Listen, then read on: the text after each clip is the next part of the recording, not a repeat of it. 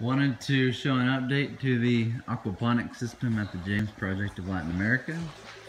This is a water deposit that typically sits on top of roofs for holding water um, for use. And um, I took it and turned it upside down, put a cone on the bottom. And that cone is a galvanized sheet metal. That right there was a bit of a task, but um, thankful for good friends that helped me out with that. And, and then this bass, base, had a friend helped me with that, and that was just awesome as well. The swirl filter, just in short, if you don't know, it catches the solids from the fish poop. Pulls solids, or allows solids to fall out of the water. Um, the bigger the swirl filter, the more um, solids potentially you can catch. Rule of thumb, is you want the water to be in the swirl filter for 20 minutes. And so, um, previously I had a 55 gallon barrel like this one that was my swirl filter for this large fish tank, 800 gallons, and um, it was just not doing it. Too many solids were going by.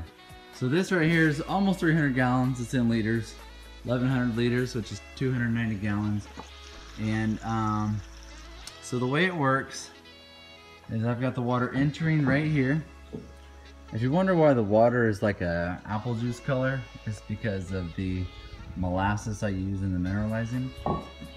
The water enters in right here through a two inch pipe. I've got it tapered down a bit um, to create a bit more of a jet action to get the swirl going because I my goal is to get the solids to drop down to the uh, middle of the tank and they are kind of catching on the sides a little bit but um, that's okay. Uh, this right here, I come over here. This right here is the output, so the solids full, and then the clean water leaves through the top, and um, that's an elbow cut down.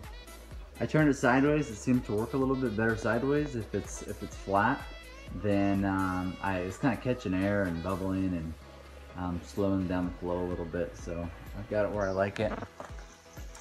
Uh, and then the water, you know, leaves the swirl filter into the grow bed and goes from the, the media bed, I should say, into the um, deep water culture beds. And um, you gotta enter it in like this. I didn't like it splashing all over the rock because the rock was growing algae, so I, I set that up. I actually did an elbow here first, and I was finding that it was actually um, siphoning a bit because I had I had this on the bottom of the elbow and that kind of messed up the flow. This seems to work pretty good. So it's not splashing all over the bottom. There's plenty of air that can go through. But um, so the solids, they fall. Solids fall to the bottom here. And I can pull the solids out off the bottom. Runs through the ground and up through here. In through here. This is the mineralizing tank and uh, that's where the, the poopy water is and I take a bit of the molasses. I've showed in previous videos.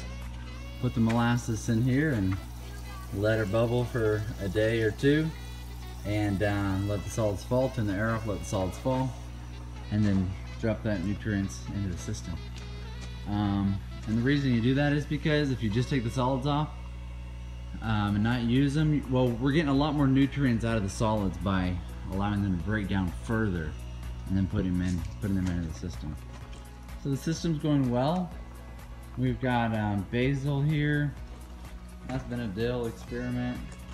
This is mint, two different kinds. They call it yerba buena. This is yerba buena mint, menta. This is yerba buena. Oh, I, I really don't know how to pronounce that one. But the cooks like it and they use it. There's some more basil.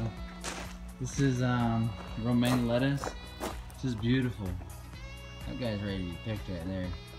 Beautiful romaine lettuces and got them staggered down as, uh, as, as the weeks go. I, I give them about 18 heads of lettuce a week. I was doing 36, was way too much, and um, I was giving, you know, more than half away. So they, they, uh, I, I brought it down to 18 but the lettuce is doing great. That's, that's the primary output of the system what they want. So anyway, to wrap things up full circle, that is the um, to wrap things up full circle. New swirl filter addition uh, to the aquaponics system. It's phenomenal. The water is actually able to sit in there well over 20 minutes. And um, according to my flow rate, I, I would only need a 200 gallon tank to get it in there 20 minutes. And I did have a 50, so that, that tells you something. But uh, this is pushing 300, so it's plenty of time for those solids to fall. That's it.